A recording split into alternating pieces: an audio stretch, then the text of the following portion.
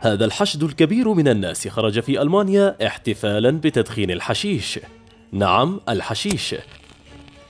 فقد أعلنت السلطات الألمانية إلغاء تجريم استخدام الماريخوانا وتدخينها اعتبارا من الأول من أبريل رغم تحذيرات الشرطة من الأضرار التي سترافق الخطوة. فالآن أصبح بإمكان الأشخاص الذين تزيد أعمارهم عن 18 عاما حيازة ما يصل إلى 25 غراما من الحشيش في الأماكن العامة وبإمكان البالغين زراعة ما يصل إلى ثلاث نباتات لكل أسرة ولكن بضوابط فلن يسمح للأشخاص بتدخين الحشيش بالقرب من المدارس أو المراكز الرياضية أو في مناطق المشاة بين الساعة السابعة صباحا إلى الثامنة مساء.